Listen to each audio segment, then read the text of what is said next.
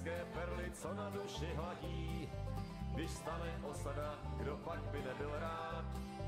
Všichni si vybalej svý kytáry a ladí. V tu chvíli každej s každým hned je kamarád.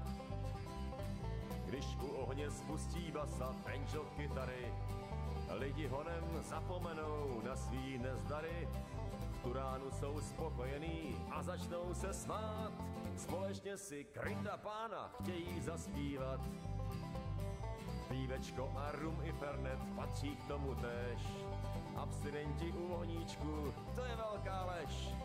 Užijí si někdy taky velkou legaci, nemusí přitom vůbec myslet na práci.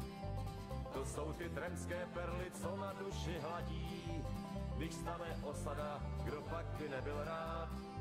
Všichni si vybalej svý kytáry a ladí, v tu chvíli každý s každým hned je kamarád.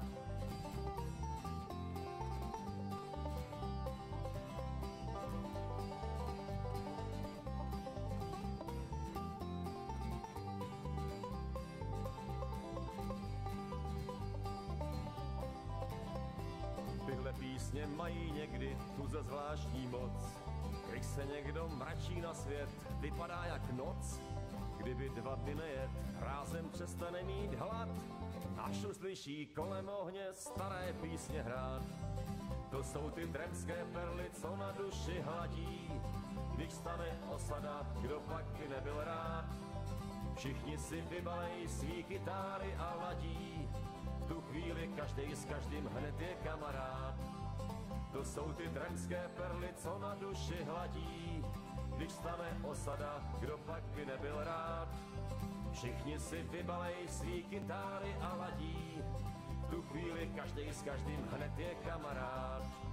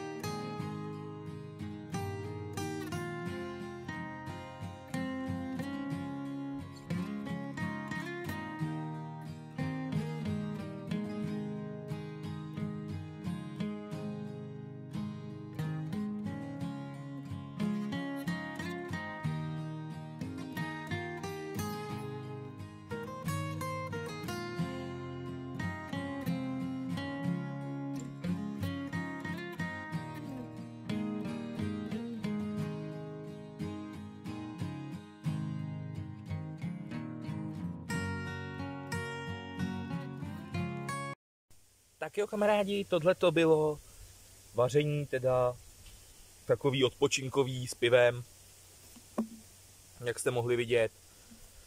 Takový první letošní grilování. Za to, že jsem takový ufrfňaný, ale takový slzavý údolí se vám omlouvám, ale celou tu dobu mi celou, ten, celý ten kouř šel do obličeje, takže teďko jsem uslzený a mám docela problém mluvit a asi smrdím jako nerviš.